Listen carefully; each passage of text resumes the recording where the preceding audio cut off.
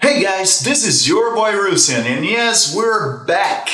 We're back with the videos. Thank you all very much for your good wishes. As you guys know, a lot of things happened the last month or so. Um, right now, I'm just trying to get back to do what I love to do. I been planning. To, I had been planning to actually have start the videos about a week, a week or so ago, but I had to help my dad. As you guys noticed, I decided today to wear my city shirt. That's Astoria, Queens in New York City. If you guys are not from there, you should go there. There's some really nice place, some really nice Irish bars. So you know what? Great place to visit. You know, most after that coronavirus goes away, people gonna be traveling more. That gonna be amazing. I probably gonna be going there back. So, anyway, with further ado, let's start with the video.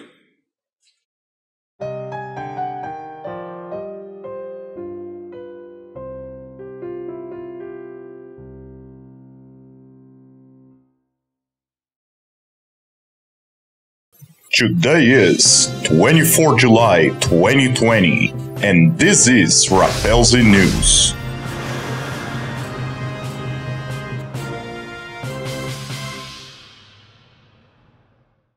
Hey guys, welcome back to the news. And since the last update, there are a lot of changes that happened.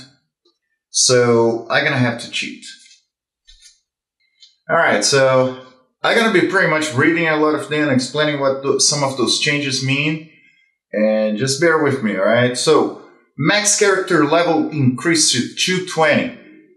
This will help a lot of people uh, on the Citadel. The only question I have, and it may cause problems, is we still have the high level dungeon, and I'm not saying people can solo. A lot of people can solo uh, DD, but the problem with increasing the level is it's going to become easier for a lot of players to pretty much solo the dungeon, not need help, and kind of kill some of the parties. My hope is that a new dungeon is at the works but I cannot confirm or deny that. So let's see how that goes. Now, next, can no longer join deathmatch 10 minutes after starting time. Points lower for killing people who have already been killed a lot during deathmatch.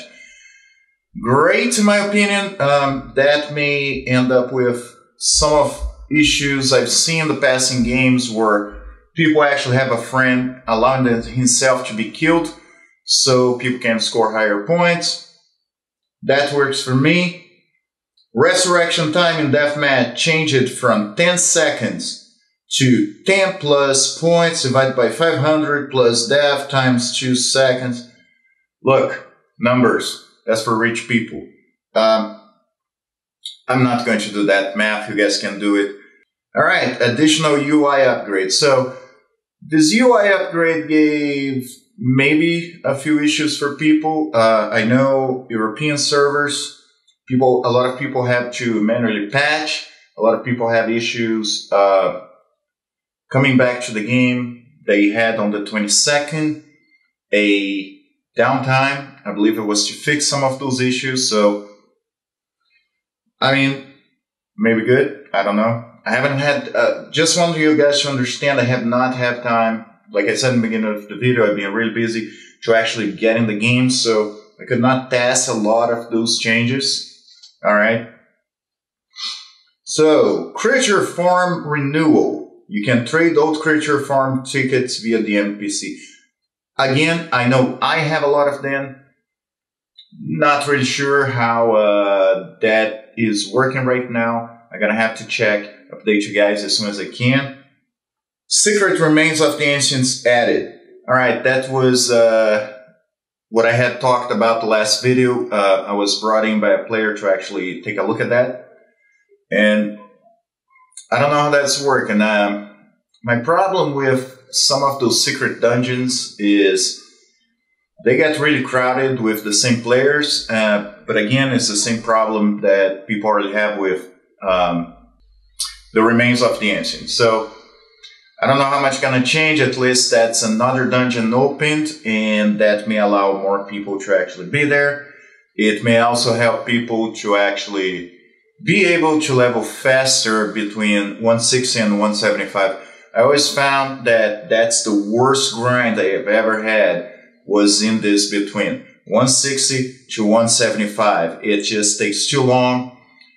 Again, the real grind is after 170, but it still it still takes too long. So maybe Secret Dungeon will help this issue. Let's see.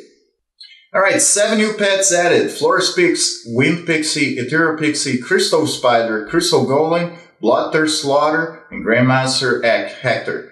So that's great. Um, I love to see new pets. If you guys have been playing the game for years, you know that pets was the thing that really got this game to be what it is, even today.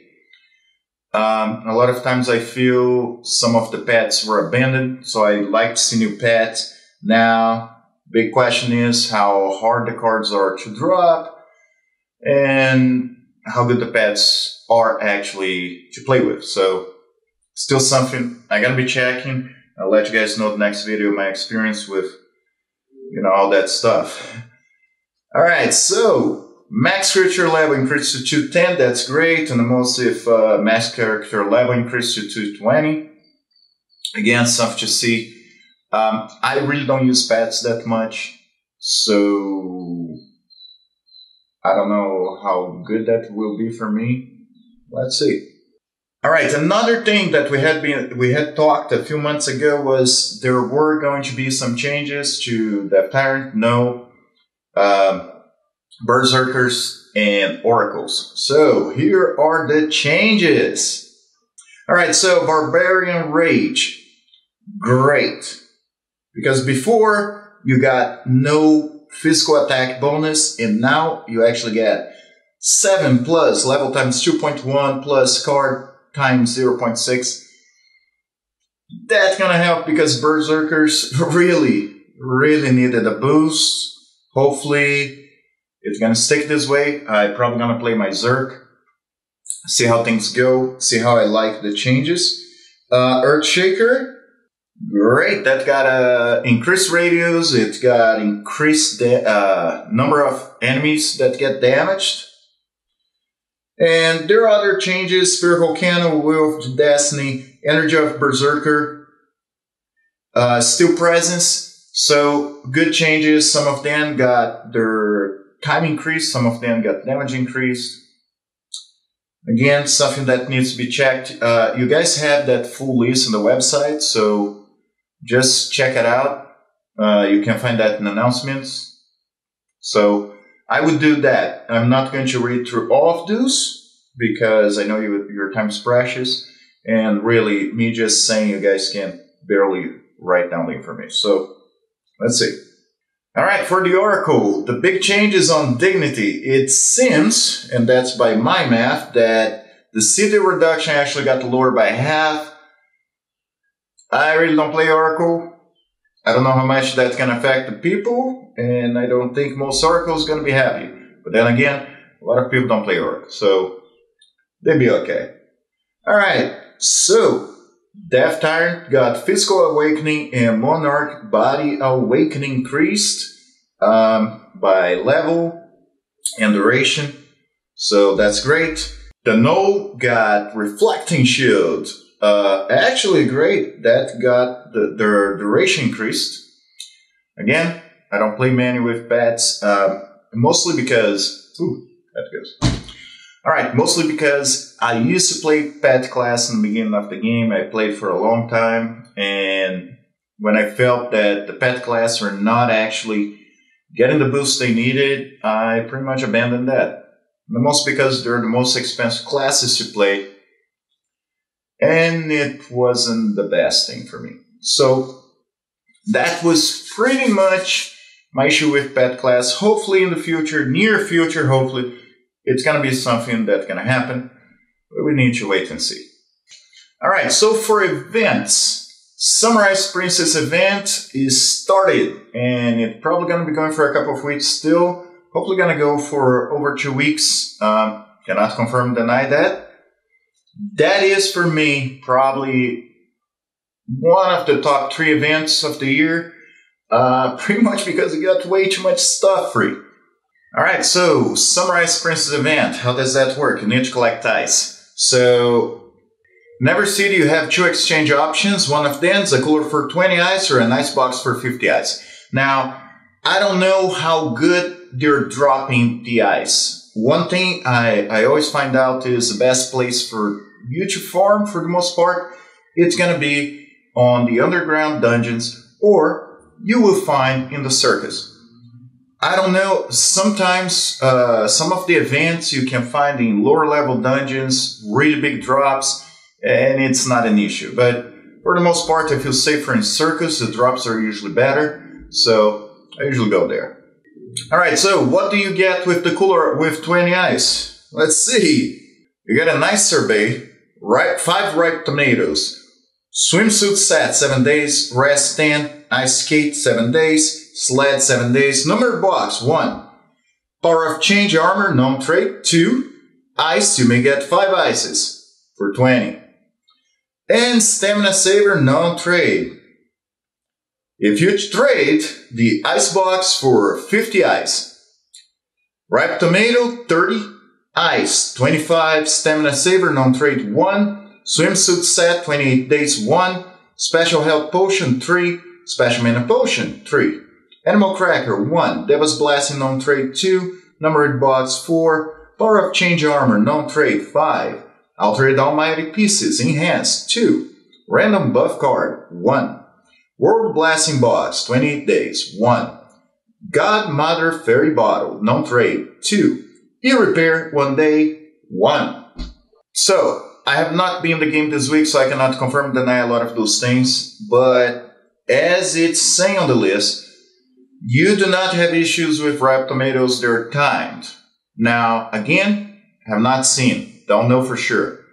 A lot of the items that always get timed are not timed. Now, why do I assume that? Because they show the time for most of the items. If not, ripe tomatoes all day, and that's gonna be great. I would farm the hell out of those ices because I'll tell you those ripe tomatoes help a lot. And the most, it's not showing as timed, it's not showing as non-trade, and those are the kind of things that you hold as much as you can, sometimes for the whole year until the next event. So that's amazing. Now, it's like I said, a lot of those things I cannot confirm deny. I usually pass them in the game. I have not had the chance. I apologize for that but I will test this week. I may make a quick video just to give you guys an idea what I think about this event, how easy or hard, best place for you to farm, you know, things like that. Again, guys, I hope you guys like the new studio. Uh, I'm trying to change the style a little bit, you know, a lot of things changed for me, so I should change a lot of things. Again, thank you very much. Don't forget to subscribe. Don't forget to hit that notification bell Give me a like if you like this video. Thanks for staying until the end. And I'll be seeing you guys in the game really soon.